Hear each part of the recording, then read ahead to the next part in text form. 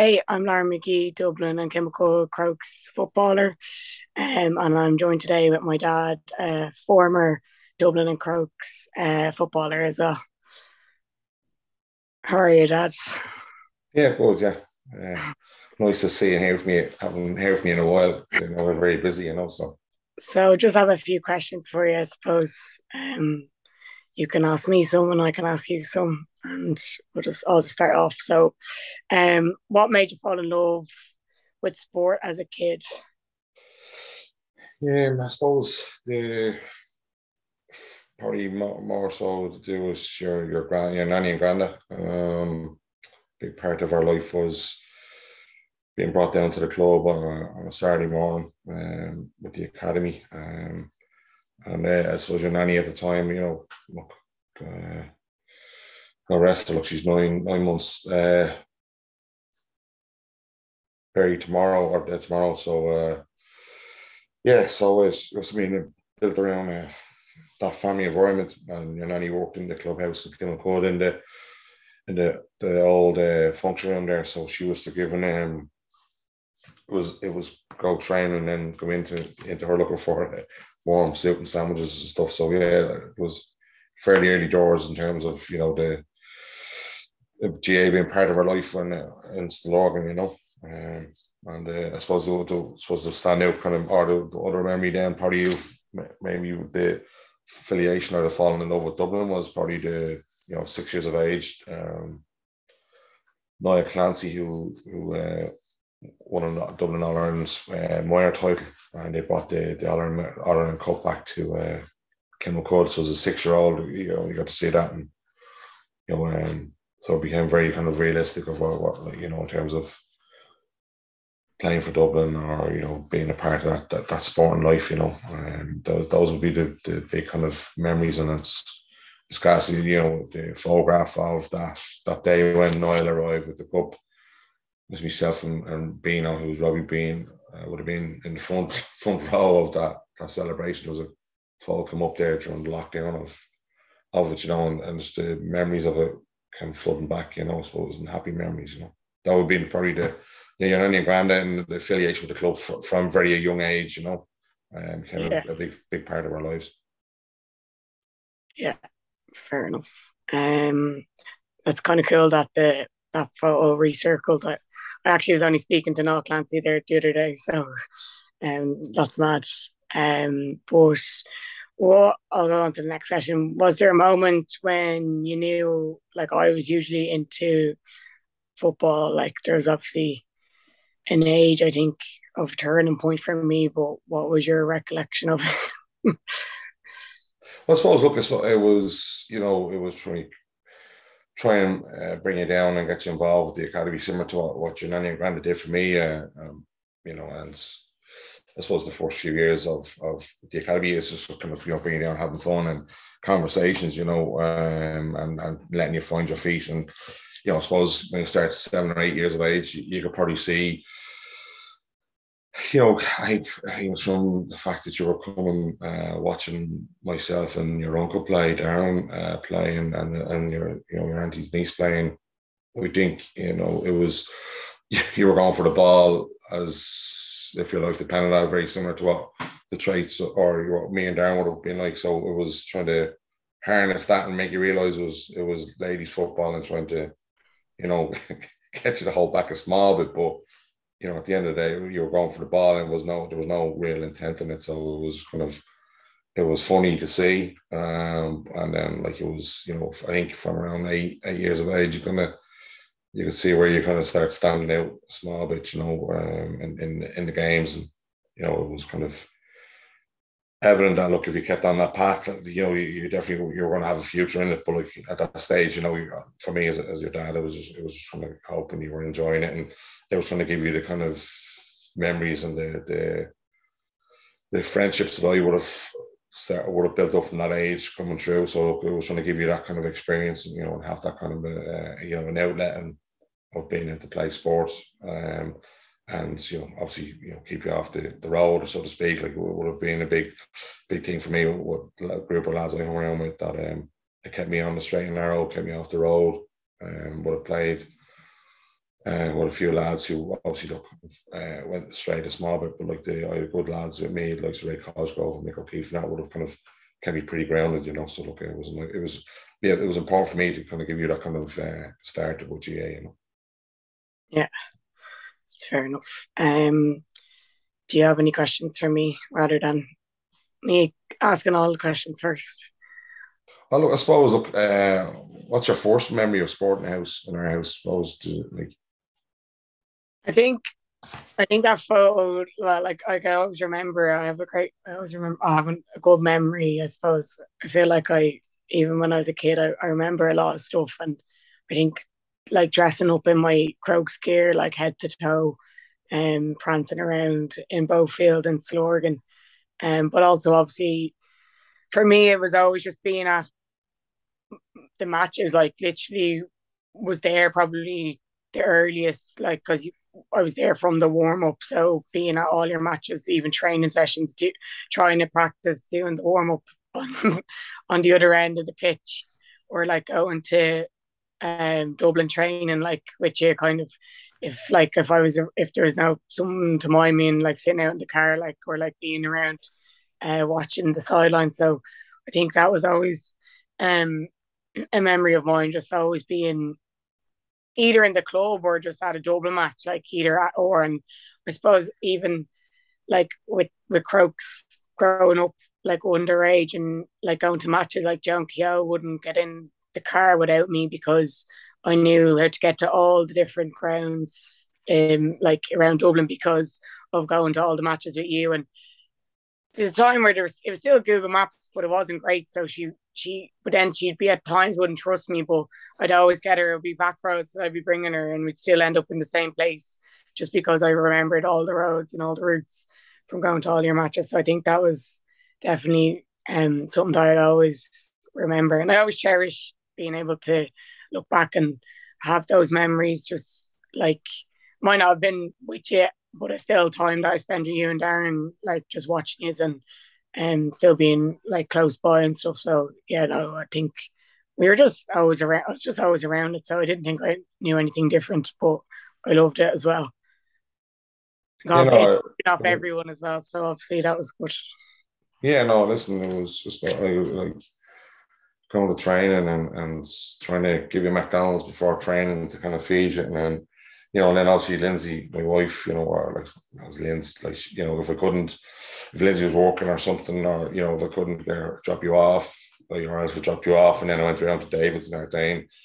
So Lindsay only parents lived in Glasnevin there, so look, it was just kind of you know, but look between us, between me, mom and dad, and Lindsay, uh, and then Darren and Denise at times, you know, or, you know, you're either with myself or with, with them. So yeah, look, it was it was nice to be able to share that, you know, those moments. And then, like, I suppose we've shared a few podiums as well, like with you and Ava. I suppose was, that was the one thing for me is, you know, be able to share that moment um, and have, be able to look back on it and, and be able to show your younger sisters and, and brothers, brothers now of it, you know, it was, it's, it's nice to have, you know, but, uh, you know, uh, it was, it was definitely a busy time.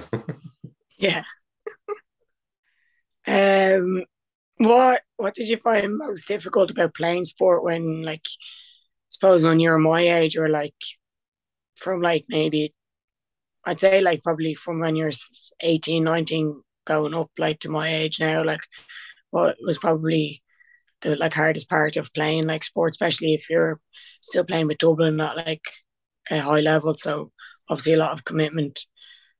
It was, I suppose the it was trying to juggle everything. It was trying to juggle being a young dad, um, trying to juggle uh, getting the proper training in, trying to juggle the, my work situation, um, you know, and I was just trying to those those balls in the air. So obviously, you're my number one priority. So obviously, you came first. So I was trying to manage the time that like so the evenings that I'd have you, or you know, um, and trying to like if I was training that could Lindsay have you, or could my mom and dad, or you know, or Denise or something. So it was just kind of, you know, it was pretty hectic. Um, trying to balance all that. I suppose the the one thing because from that time would have really like I suppose I didn't uh, like that. That's not so much of now. That like the mind games that came with playing um, football. It was just in terms of you know uh, mind games, in terms of just different you know uh,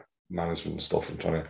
It's not realizing that you know young a young man, a young father trying to have a lot of balls balanced in the air, trying to balance everything out. You know, so look, I suppose that was that was a challenge itself. But look, listen, it was uh, you know, I suppose at that stage, at that age, you know, uh, looking back at it now,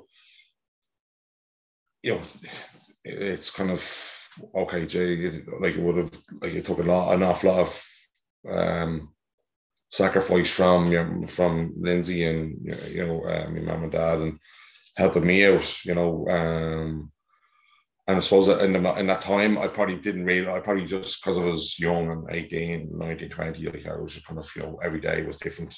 But the main objective was kind of make sure you were sorted and obviously then um, with your mom obviously then as well and just kind of you know having the balance right and then give the right commitments to, to, to Dublin that was required you know and you know and then like it's it's funny like you know Lindsay used to come over and when you were staying with us because I was so tired at times I would bring you to bed at half seven and then going to sleep with you you know what I mean? So it was you know, but Lindsay, in fairness, where she realised that, you know, I mean, like in terms of, you know, she was a huge support for for me and you, and at the time, particularly in those those stages where, you know, would have been on my feet in terms of, you know, training, working, and making sure you were sorted as well, and just kind of, you know, going to bed at half seven. Oh, you're to watch the, the DVD with Lauren and then fall asleep. Then so, then we woke up around half ten you know, but look, yeah, like it was, it was, um, it was just a balancing act, and it was just kind of, it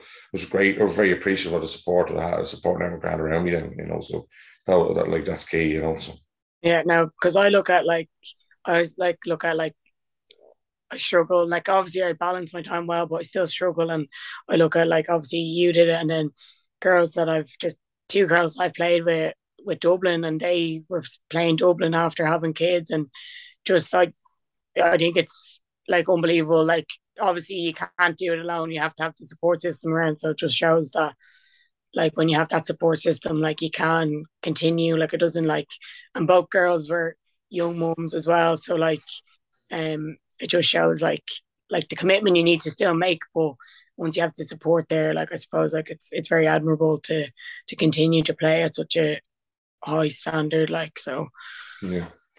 No, it's I suppose asking. I never really, never, I never asked. Did you ever feel pressure from because I played and Darren played, and did you ever feel pressure of playing football um, when you were young, or like did you feel you had to? Like, did you feel, or did you enjoy it, or you know, or, or like it was um, just kind of something that you felt you had to do, or like because that was one because I would have always feel that even now with your younger sisters is that you know the big thing for me is is enjoyment. Um, if you're not enjoying it, it's very hard then to to, yeah. to motivate yourself or push yourself forward. Like so.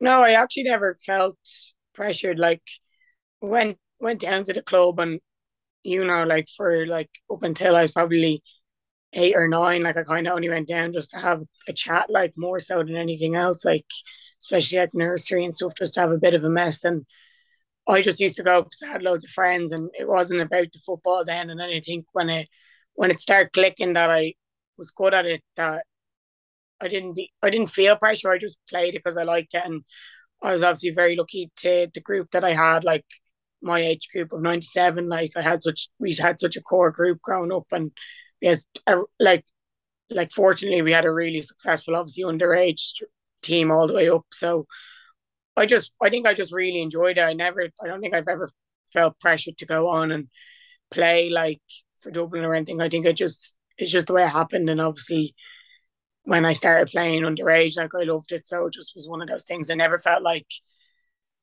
like I was doing it for like obviously like you do it as like but when you're that age and now I look back and I'm like I do do for like the likes of yourself and Darren, Nanny and Granddad and like Lindsay and all my family. But back then I think I just really enjoyed it. So I just continued to play. Like so I, I don't think I ever felt like I was like you could see like when you're minor, especially under 16 minor in club, like you could see the the numbers of girls dropping off and some of them you knew by them that they were only there because like their parents kind of they did like it to a degree, but at that stage, they, their lives were changing and they their interests were changing. So they kind of only there to to kind of keep their parents happy. So I I don't I never felt that way, thankfully. Yeah, no, I just kind of uh, because I was very conscious of like I would have been obviously involved with your teams growing up and like yeah. for a good few years, and I was always very conscious of being or having a shadow behind you and, and having fear because I was involved with the team whenever I was there when I wasn't clashing with, with Dublin or Crokes. Was that like I didn't want to feel that you ha- had to be pressurized into it. That's why I always felt, you know, when, when I came to I think it was 16, when I put, kind of pulled away properly in terms of not being involved with the team because I, it was important. I know from my own dad when he said like because he kind of pulled away, he would have been involved with the teams underage of me, I suppose from under 12 coming through and being involved, and he kind of kind of stepped away in terms of being not being involved as, as a selector and that because you know to just kind of allow me find my feet without you know the my dad looking over my shoulder. Not that my dad, dad, my daddy was kind of he, he very laid back, but he at least the one he was the one person I could go to and ask kind of you know he let me know if I was good or not or, or like and it, there was no no there was no kind of it was very honest so it was black and white so i knew if he said i was poor or i didn't play particularly well or if i didn't mark my man he'd let me know. But then he would let me know the positive side of it so like, i was always very conscious of that for you as well so that you were able to find your own feet not having the shadow of your dad or your uncle being over you watching so like it was important that i felt at the time to pull away then so that, like you know to make the mistakes and not have feel that you, you know, oh, my dad, dad's watching it and that. So look, I was, I was kind of glad that you were to find your life to enjoy it that way, you know, and, that it wasn't you didn't feel the pressure from feeling okay if I didn't play for Dublin or if I didn't play well, oh my dad would be upset, like you know. Yeah, no, I don't think. Yeah, I think it just like I was always like wanting, like I was oh, like I'd always go to you for advice, same as now, but like I'm well able to ignore you on the sideline if I need to that was the thing. So I don't think I ever I think like I think you know like sometimes people get too worked up if their parents or someone's shouting on them and not it's not in a bad way, just encouraging and obviously yourself and I always remember like Frank Rutledge even now like with like Ava Rutledge like he'd be shouting and she'd be ignoring him but I'd be listening to him and she was like I'd be listening to Johnny because it wasn't her dad and we both knew that both of us had knowledge of the game like so we did want to listen, but also like because you were our dads, we were kind of like ignoring you for like just because we were young. But like it's it's the same thing. Like Ava listened to you and I listened to Frank. Like especially on the pitch, it was more like off the pitch it's grand. But I think when you're in the middle of a game, I think sometimes you you listen to other people rather than like you're the closest to you. So but it was never about it was just um it was just funny the way it worked.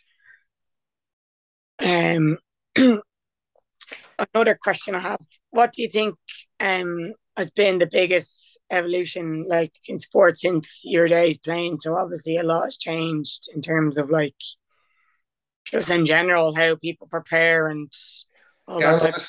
The, the, I suppose the science behind it has has shifted massively. I suppose when I was playing, you know, Liam Hennessy would have been our SSC back in the oh, show my age now 99, you know, uh, when Tommy Carr took over and, and we were doing a mixture of doing gym and then going straight out into the fields. Um, but in terms of like rehab and prehab stuff, in terms of you, you know, I, I see the value of it you know, uh, now. Um, when I would have been playing, I would have like I'd be giving out the players that playing with, with, with a toy hamstring or or a strain.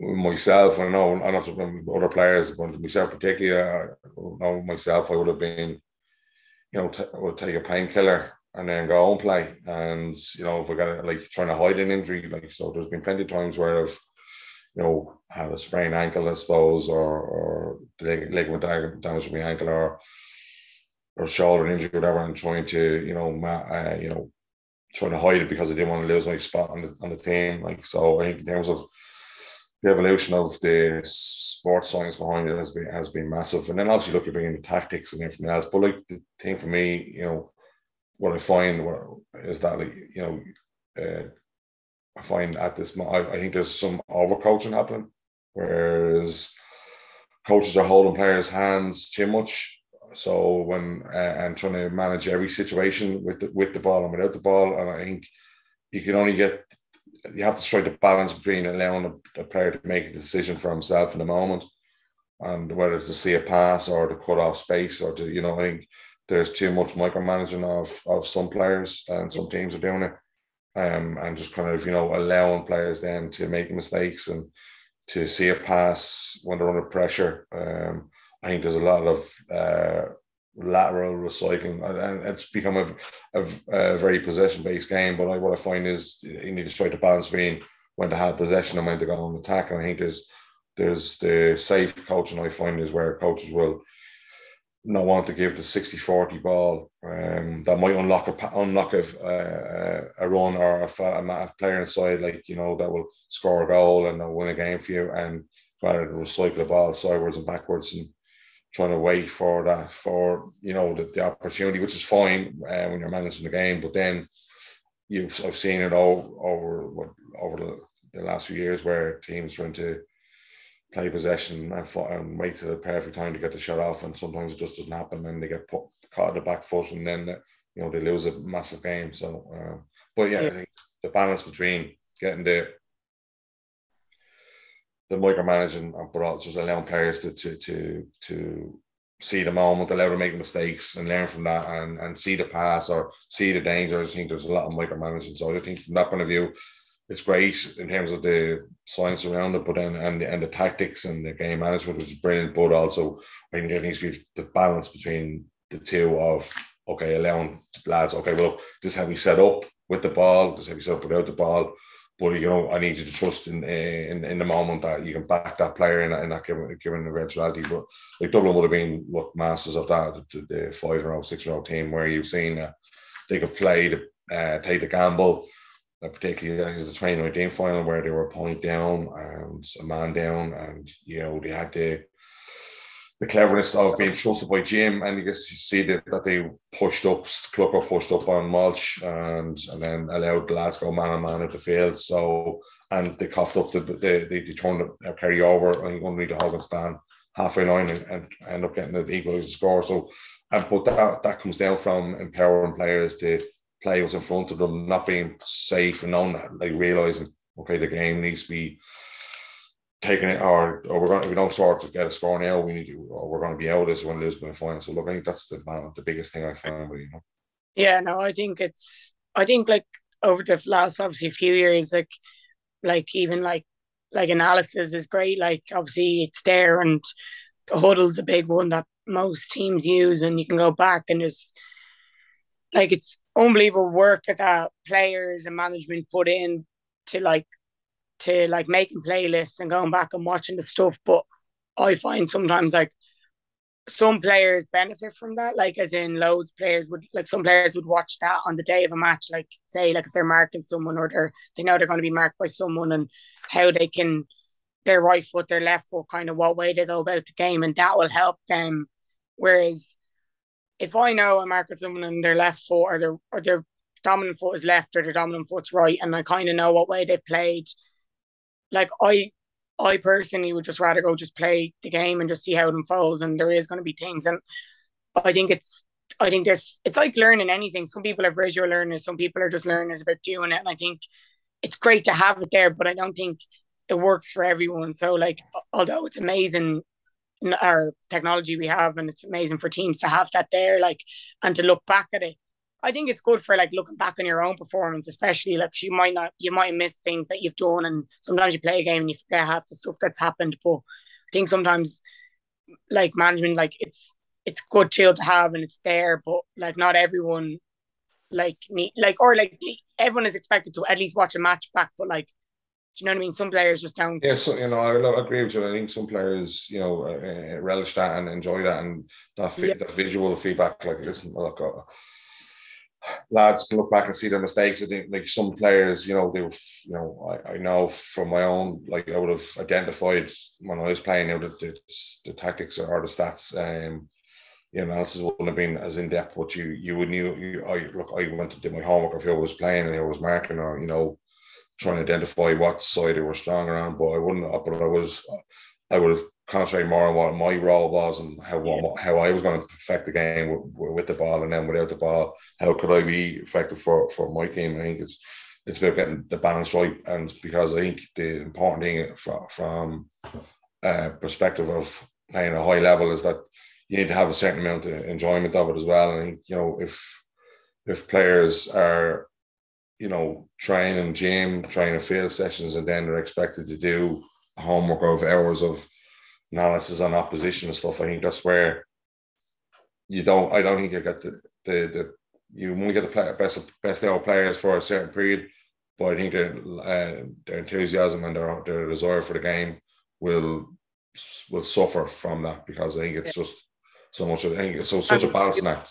Yeah, because like I think like sometimes you feel like as you said like the trainings become more intense like gym sessions, all that recovery sessions as well is put in there. So then when you have your analysis thrown on top of that, and then people are working full time, like it does become a lot. And again, as you said, like I think it's, I think it's, I think it's different between each person. And I think some people really benefit from it, and some people like think it's it's good to have, but it's not to be all and end all. So I think it's trying to strike a balance of having it there. Like I do think, like as you said, stats are good. Like like if you know, like a lot of the time, like the players know that you've like I'm a person that gave the ball away five times. Like you know yourself that like okay, that's not good enough, that type of thing. But like or like where are like kind of shot to score ratio and that type of stuff I think is good. But sometimes I do think over analyzing is a bit does take away from the enjoyment. I know obviously for purpose of being successful it is it is there to do that, but I don't think it needs to be as in depth at times. But yeah. Um, do you have any regrets about life committed to God? Because like I know a lot of people sometimes, not that they regret putting in the time, but they do look back and they're like, God, like I could have did this, this, and this, and that type of stuff. Um, do you have any? Oh, I, I suppose the um no, no regrets in terms of the sacrifice, the GAA. Like I suppose the I probably let it consume my life. Um, probably, you know, I suppose I would have struggled in terms of um, look, I'm dyslexic. You know, would have struggled in school. Um, I was one of the kids that went out to to the, the reading teacher and um not to struggle numerically and uh, verbally in terms of uh, you know numbers and, and alphabetically in terms of like spellings and reading and everything else and times tables and then like you know it became look it became I was I was good at football in school and you know then the principal at the time um you know I remember he wasn't too happy because I didn't know I, I can't remember what times tables it was. And uh, and then that afternoon we went and played football. I played a schools match and like I was playing above myself. I was in four classes playing for the junior team. I got fifth. And um, I got man in a match or something and he came over and he, he apologized for how he treated me in class earlier on. And I suppose the the big thing I probably did struggle with, uh, you know, with was suppose the it was the only thing I ever recognized I was good at.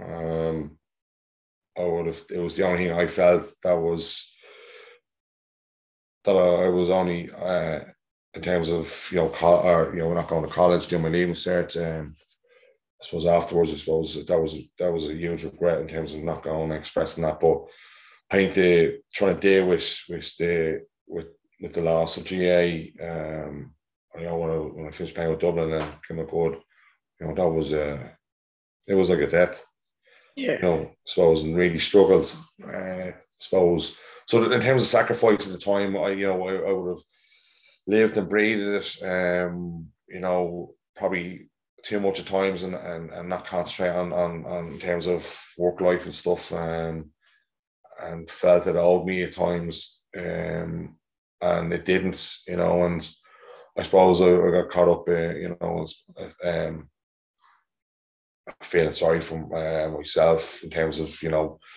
that I didn't get what I wanted out out of the game and getting angry then and stuff and so but it's kind of struggled massively in terms of the the, the, the aftermath of, of finishing up playing. Um, you know, definitely struggled massively, I suppose.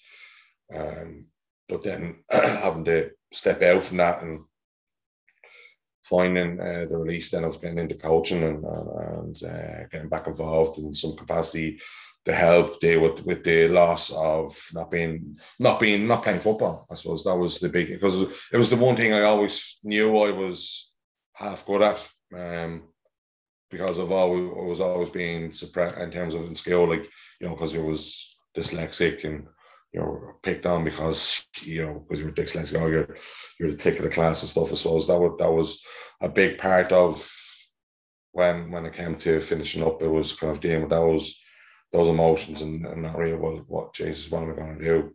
I'm not a foot, I'm not, not a footballer anymore. I'm not playing football, and you know, and not I suppose I think the being able to step away and kind of look for the bigger picture. Then, when I was still, I was, I was a husband. I was father of, of four beautiful girls, and and and, and realizing, okay, step away. So I suppose trying to manage that, and like when I, at the time, I would have been, I should have probably been able to so with now with the way things are at the moment, I think that's the one thing about at the moment in terms of there's so much, you know, care and and for mental well being and, and and dealing with the pressures of GAA or what's what's next about if you're not away from the field and college and what you're doing. So there's so much there now. Whereas at the time, I suppose, you know, when when when I finished up with Dublin, and uh, you know, it felt I was in a, a bit. Look, I was in, in a dark place, and look, I look, look, I got over, but it was it, it definitely kind of no no regrets uh, really. But like yeah. just afterwards, I would have felt I should have probably you know managed a bit more. So I think that's with the way at the moment, you know, with the management teams, with county teams or, or top club teams. There's a sports psychologist. There's, you know, you've got your physio, you've got your S&C, you've got your stats. You got you got so many people who are experts in the field. And I feel, yeah. you know, that's where I probably should have maybe there wasn't as much sports psychology or something, but maybe that's an avenue we should have kind of maybe looked at to help me deal with those those things, you know. Yeah. I'm not going off on a blatant spiel there, but about that. Sorry, but. Sorry. I mean, just in terms of like you know how much uh, like have you learned anything from my career in terms of the, like you've would have been front and center for a lot of it, but I know you're very young, probably so like you're probably just gonna skipping along. But I suppose afterwards, in terms of like you know once you got a little bit older, did you did you learn anything from from from me or or from yeah, like I, I like although yeah, I was quite young, like obviously watching you and Darren, I suppose, play, but I think he's always left like a legacy but the way he's played and like I obviously play like a lot like both he's in different aspects and suppose your knowledge of the game and the way you went about things, even when you played for Crokes and you captained them to the All Ireland a lot, I was young, like yeah, like just watching like your your own wedding, like coming up to was it the semi final of the All Ireland that like you weren't able to drink and different things like that. So suppose like watching how you went about everything and like how like I know like you can you can still enjoy like you enjoy like you still had a great crack at your own wedding, like although you might have had a pint bottle of Bulmers and that was it. But like I think I did take away like although you make sacrifices to miss different things or like not give everything your full like throttle at it, like it's still worth it. Like in terms, even you win or lose, like you just, I think you make those sacrifices. But again, like I find the way you said, like um, that like it was kind of like losing someone when you had to give it up. Like I think that's always the fear of like when you're coming, when you're approaching. Obviously, like when you hear of like people retiring and it's not like that far away when you like you actually don't have as many years as you like you know what I mean playing than you do of like when you when you retire how many years you don't play for. So I think that that's I think that's a fear of everyone I suppose when you watch any of the girls like and not even a fear of like stepping away from Dublin but more like your club I suppose or not having any kind of outlet um is definitely a thing. But no, I definitely learned a lot from you, and I'm still learning a lot because I feel like coaching as well. Like not only like oh, you're obviously with Geraldine's like, and you're coaching like underage as well as senior teams, like like different different teams, and obviously like being able to do summer camp Jen and learning from that, I suppose. And um, I have learned a lot and wanting to like back I'm back obviously in the school teaching, but wanting to go back and do my teaching degree, like you do take all those little things that you do with the kids and different things like that from. So it's not just football that, like, you know what I mean, that I've taken stuff from. It's also everyday life and that I can bring because I know, like, that's like, like you can see the kids with you when you're like you're stern and you can be strict, but they all like move you. And I think that that's what I try to bring in when I'm teaching or I'm teaching like P at the moment. And like obviously, you have a very varied, like big variety of kids who, like as you said, like your your ability to play, like you're really good, like like at sport, but like you might not have been um that good in the class. And like you're you're dealing with kids that are the opposite like when you're a PE teacher. So it's like having to deal with them as well. So um, um I've taken a lot from you you and Darren. I'll give Darren a shout out there just in case he gives it. Um, what was what's been your proudest moment as a parent? I don't know whether that means in general. Yeah I'll be careful with this one. No, I think I suppose the proudest moment as a parent, our parent is is the you know, I suppose when like seeing being there for for for the four years being born, you know, um, and uh, being a part of that, obviously, you know, and I think you know, uh, seeing how you've all, I know and or Daisy and Nasa was it not well. Uh, 10 and 12 next week, but like, uh, well, like then your sister A was 16 and then yourself was 25 now, was it? Oh my God. Like, anyways, but yeah, no, just, just, just enjoying the, the, the how you are, are growing up. Um, and I, I suppose I'm, I'm, probably really proud of the relationship. I suppose can you say but I think you know I think I have a, a lovely relationship like as with, Lindsay and the girls. But I think like we've a, a nice balance. Yeah, as you said, you know, there's uh, not that I'm awfully strict or staying as like, you know, but like I try, I, I try to, you know, try to, you know, give enough, give enough rope for the for for you to learn and stuff. And I suppose yeah. the proudest thing I can is that, like, you know, that you're you're happy. Um, and as you know, pretty emotional guy wearing my heart on my sleeve, and so I struggle with, you know, trying to make our making sure you guys are, are you know are, are, okay. You know that's the so that's the worry as a father. You know, particularly for girls, you know, very protective in that sense because of the way the world is and stuff at times. Yeah. And the way boys are and everything. That, like, not saying boys are terrible, don't get me wrong, but it's just kind of very protective, you know, because you know, and just kind of make sure you guys are okay. I suppose the proudest thing is that how you are how you are all kind of grown into the to, to the beautiful like yeah young lady or young ladies and the beautiful woman who you are and and and the, and the girls you are, and obviously then your sister Ava, who's starting fifth year this year, and like and how she's come on, like you know, so uh, yeah, proud of that probably, you know.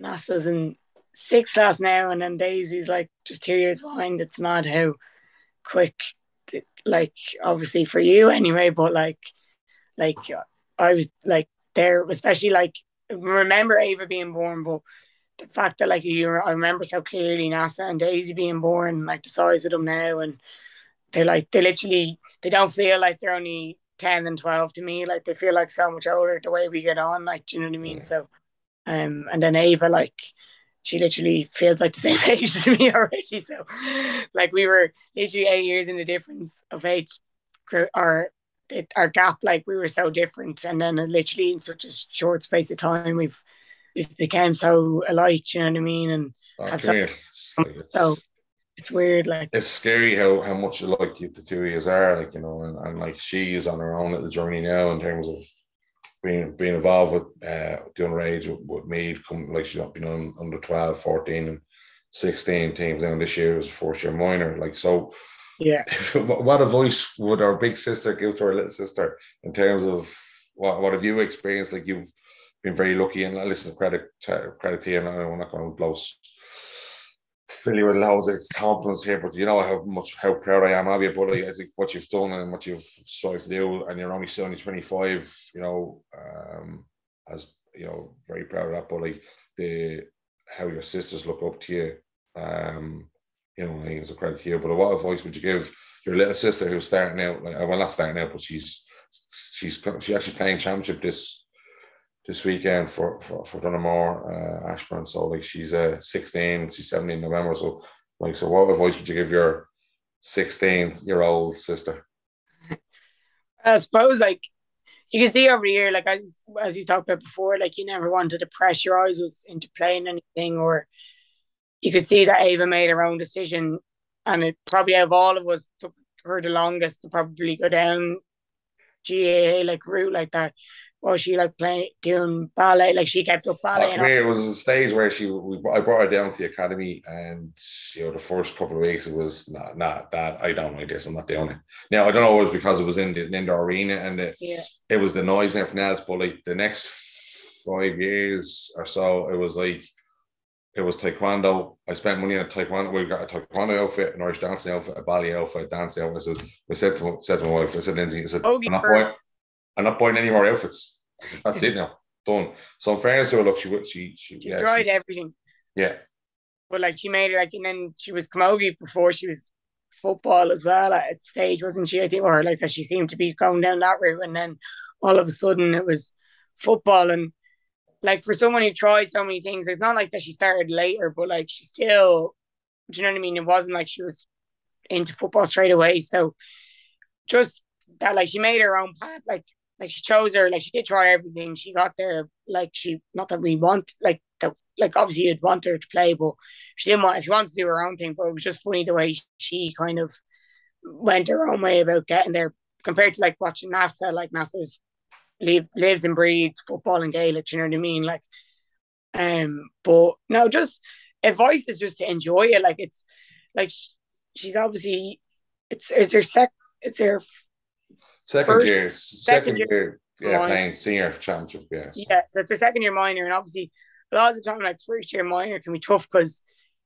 you know what I mean the second year minor is already there and it's hard to break into the team and like it was hard but she made so much sacrifice and she put in so much effort and she did really well and like she was well and like good enough to be playing but although she might not have gotten the opportunity to get that much game time she still did really well and um like she was a credit to herself and um I suppose just advice is just once she's enjoying it you know what I mean? That's all that matters and just to put in if you want to be successful in it like you're gonna have to put in the effort. So do you know what I mean? Like if like you can't like she doesn't really do any like she always goes out and trains, but like if you're gonna complain like and you haven't put in the effort, like that's just from experience of other players growing up where like you could see that they're complaining and not getting in or different not going their way. And sometimes that is a case of different management and stuff. But I suppose if you always put in the effort and you know that you've done your bit and it's still not working out, then you know you've done all you can more so than having any regrets in it. Like, you know what I mean? So yeah, that's kind of the, the advice I give her. Like she's she's doing really well and very proud of her. Like although like we might be playing each other in a few years, hopefully. Any advice that you'd pass on or knowledge to me, or like what would it be like in general? I suppose look, I think for me is is is the your your your football lifespan, you know, is yeah like that, and then your your life lifespan is is that size. It's so, you know, I would say to you, enjoy every moment of it um, yeah. and, and, and, and make it as fun as possible because, you know, as I, as I touched on earlier on, it's, you, you, know, you're, you, you don't get it back. Um, and so what I'd say to you is, is, is that enjoy every minute of it. Um, yes, you're going to have up and ups and downs, but like, you know that you wouldn't want it any other way because it does it makes you feel feel obviously alive uh, uh, uh, and in the moment. And when you're, if you're playing all Ireland final or playing a county final for your club, or I think it's just the enjoyment and uh, and the fun uh, fun side of it, but also you know, it's the it's the learning arc the friends that you make along the way because they do become your your, your external family. You know, so look look, I'm lucky enough that still very good friends with, with Cosy, uh, Ray Cosgrove, and then look obviously Darren, my brother, who I probably wouldn't have been as close too because we were similar age and we were constantly, you know, battling and training and stuff. But boy, we got closer now over over the last years. But yeah, no, I suppose the one thing um, is to go and enjoy it and and and then don't take things for granted, you know, because you know, as I said to you, your football lifespan is only a short window compared to your your, your overall lifespan. So yeah, yeah, look, enjoy it, and uh, it's been it's been a pleasure. It's been uh, actually nice to yeah, get, get yeah. your time for this length.